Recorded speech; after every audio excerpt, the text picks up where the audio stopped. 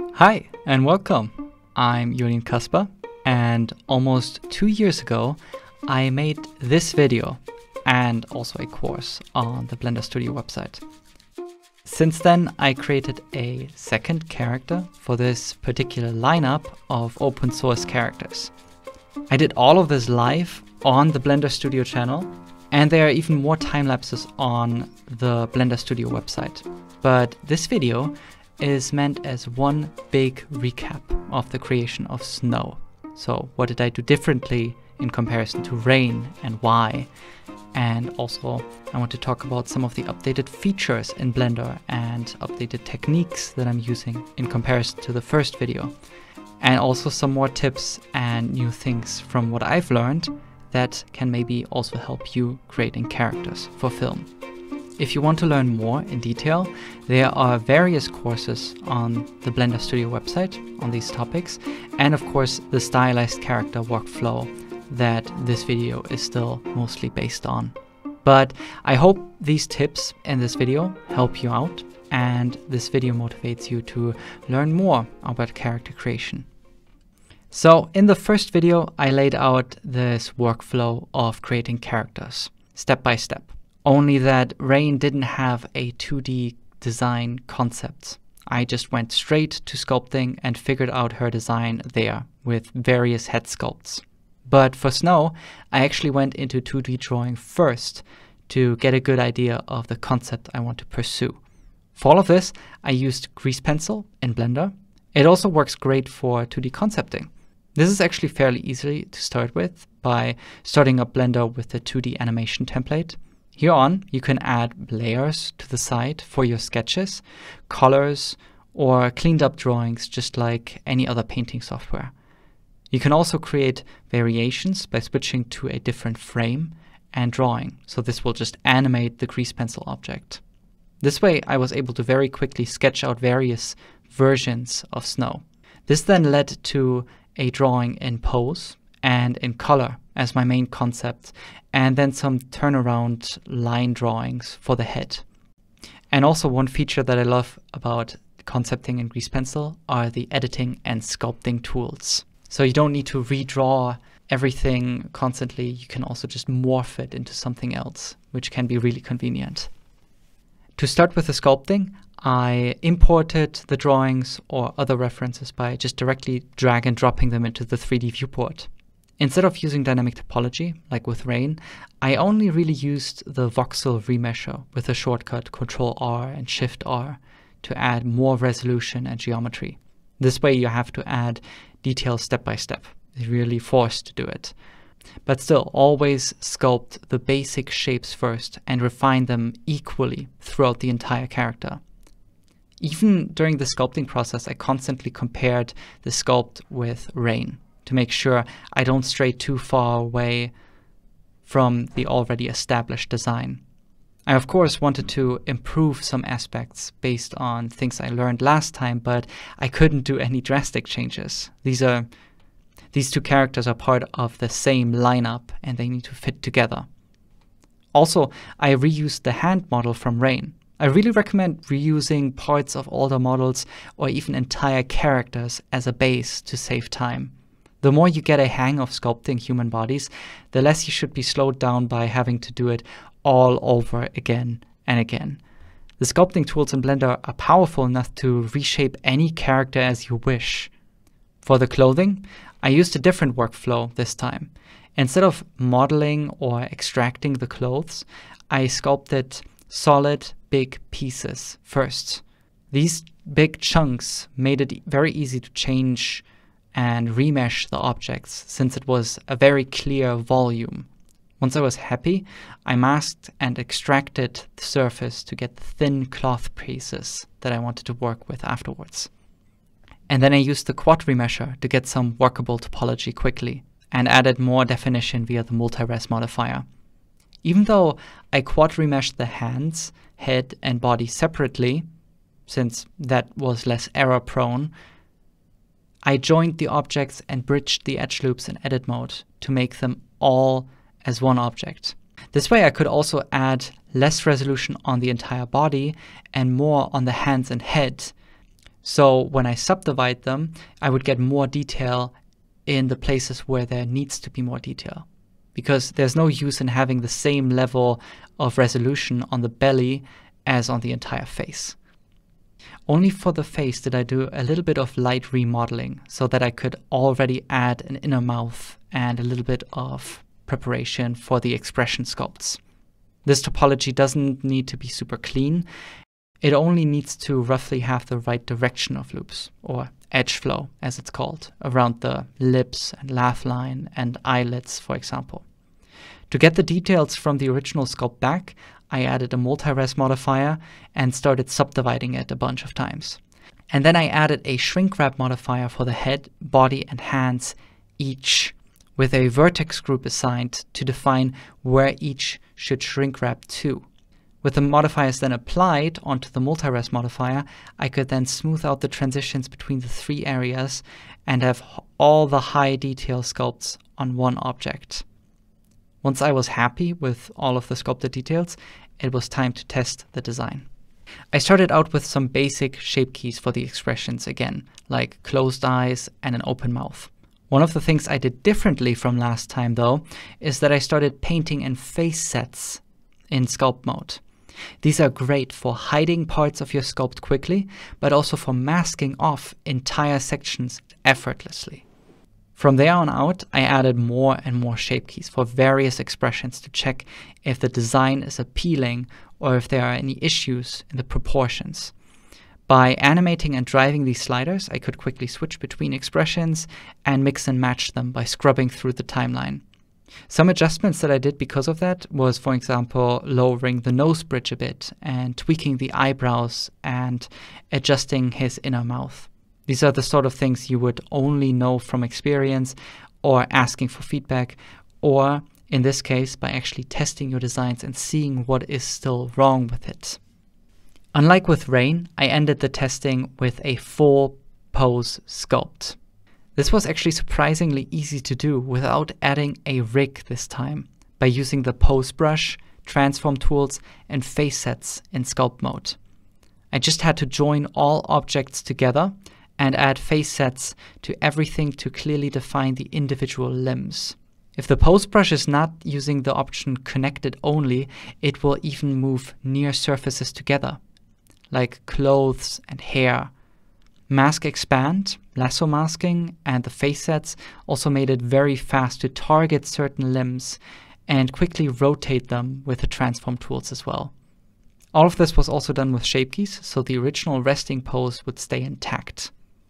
I also compared all of this with Rain, so they both work well side by side. This is where I wrapped up the 3D design phase, and after a while started the live streams on retopologizing snow. I went into a very different direction than with Rain. Rain was made with topology that is very generic, that would be easily applied to any character that doesn't have too pronounced facial features big feature films use this approach a lot, where they have one really well made retopology and then morph it into any background or secondary character they have, because they already know that this topology works. This saves a lot of time, but I also made the mistake with Rain to start very high res with the retopology. This is actually not a good idea, since it can get you stuck with too much geometry too soon. So for snow, I started with the absolute minimum amount of loops and then went higher only when needed. I also made a very custom fitted retopology for him. Each loop is very customized for his facial features and proportions. This lowered the amount of loops overall, but increased the amount of poles, so they had to be placed well to not cause any stretching when subdividing. While retopologizing, I liked to mark very important loops as seams or sharps to make them really stick out in as these red and blue lines. This is really just to help distinguish them visually while working on the retopology. It doesn't do anything else.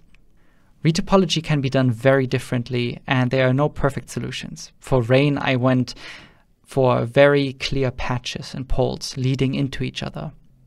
Snow is a good example of how the structure can be a bit more messy visually, but overall better for this particular character, and as a result, with almost half the amount of geometry on the entire body.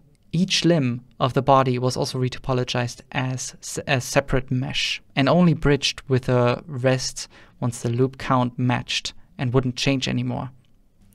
And here's a good tip for clothing retopology. Try to place loops exactly where the real seams on the fabric would be. This will help a lot later during UV unwrapping and texturing. Even the hair was retopologized in the same way to keep the style consistent.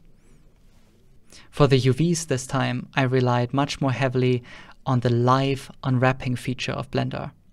It's a bit unfortunate how hidden this feature is, since this is the best way of unwrapping and editing UVs in Blender. It's really useful to be able to pin certain UVs to keep them in place and have others automatically unwrap instead. For example, if you want to stitch pieces together, or you want to straighten certain UVs, or rotate and align areas. This time, I also used UDIMs for the main body. If you don't know, a UDIM is essentially a one by one UV space. If you use more than one, you can also use more than one texture on that object. So that way, the head hands, and the body could each get their own set of textures with different resolutions for more detail. I also pinned the middle loop in the center of the UVs so I can easily mirror the UVs later on. This can be done by, for example, using the mirror modifier with the bisect and mirror UV options enabled. Even UDIMs work with this. And then once you apply the modifier, your mesh and your UVs will be perfectly symmetrical.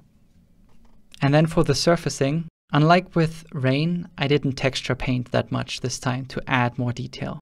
I mainly just painted or generated low resolution masks to define where procedural or high resolution patterns should appear, like a mask for pores, lip wrinkles, or the iris textures. Just like with rain, I used tileable textures again to add fabric patterns on straightened UVs. These I got from various CC0 texture libraries like Texture Haven, CG Bookcase, and CC0 textures. The issue is that these textures often come with some extra color variation and details attached. Often I only want the detailed patterns and add all the color variation myself. So an easy trick I like to do is, for example, in Krita or any other image editing software, to take the image and start duplicating the layer. Then blur it until the detailed patterns are gone and you're only left with the color variation you want to get rid of. Then set the blurred layer to grain extract and it will extract the difference. In this case, that's the detailed pattern that was blurred out. And then just save the texture and you have exactly that pattern that you want to use. But I didn't just make neatly laid out UDIMs. I also added additional UVs for procedural texturing this time. Since UVs are essentially just coordinates in two dimensions, the U and the V direction, you can use them to add additional effects via shaders. For example, I unwrapped and straightened UVs along the sleeves, collar, and the hip to add a darker strip of fabric procedurally with a seam in between the two colors. It's also much easier to add non-destructive stitches this way along the UVs, almost completely resolution independent. Basically, the only thing I texture painted by hand on the clothes is a height map for smaller wrinkles on the clothes, and I mixed that in with the other texture patterns. After I was happy, I did some renders for tests and turntables and then tweaked it afterwards. And then once that was done, I baked the entire node tree down into a set of PBR textures, just like last time. One thing I didn't mention in the previous video is that I can really recommend to set any black and white or normal map texture to non-color instead of sRGB. This will give you more accurate results, especially for normal maps. And also, in the original video, I didn't go that much into the rendering side. So essentially, once I have the posed shaded character, I set up a camera and some lights. Most of this is based on the three point lighting principle and done in Eevee, since there I can see the changes in real time. Once I'm mostly happy with the results, I switch over to Cycles for the final setup and further tweaking. Since Cycles and Eevee share most of the settings, you don't really lose much in the progress. For the ground, I added a reflective plane as a nice bonus. For rain, I added a bit of displacement with water ripples from raindrops. For snow, I originally went for, well, snow, but this ended up to be way too distracting, so I changed it to a subtle frozen texture. In the end, I did a bit of retouches and compositing directly in Blender. For this, I organized the character his eyes, and the background into separate collections. Then I created three view layers that will each render out a different part of the final image. The first layer renders out snow with a transparent background. To achieve this, you can just toggle the check mark on the background collection in the outliner. This check mark will only be checked for this particular view layer. This will just exclude anything from inside that collection and it will not appear in the render. In the second layer, I rendered out only the background, but with snow still visible in the reflections. For this, you can toggle the indirect only option in the outliner on the character collection. This way, anything in that collection will never be directly visible, but only indirectly in the lighting and reflections on other objects. And in the last layer, I rendered only the eyes with a bit of a different lighting setup so that there's no distracting reflections. You can enable the holdout toggle in the outliner on the rest of the character for this, so anything in those collections will be rendered as alpha zero, essentially like a mask. Then you can stitch these layers together in the compositor, add some glare and color correction, some nice gradients for the background, and you're done. And that's it. Thanks a lot for watching. If you're interested in more tutorials on this topic or the files of these characters, visit the Blender Studio website. Once Snow is fully rigged, he will be made available as a Creative Commons character for you to use for any project you like. But until then, you can also get the full access to the entire library of Creative Commons characters and assets on the Blender Studio website. Enjoy!